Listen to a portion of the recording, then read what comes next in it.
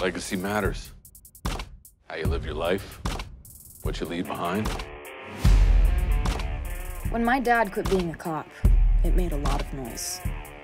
They said I had a deep-seated disdain for authority bordering on insubordination. Boy, did they get that wrong. Right? He works private cases now. Fewer compromises, he says. I would like you as an expert witness, I don't work for defense attorneys. even in pursuit of the truth. Sometimes the system fails, You got shot. Came back. but his code never has. You have to decide what kind of a cop you want to be. It's either a mission or it's just a job. And that's why I want to follow in his footsteps.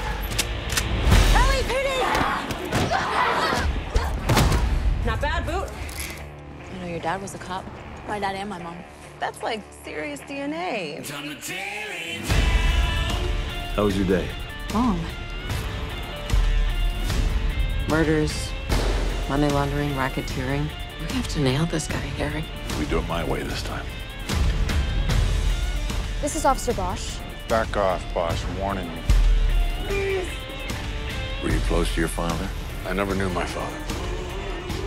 Sorry, I just worry about you. Welcome to my world.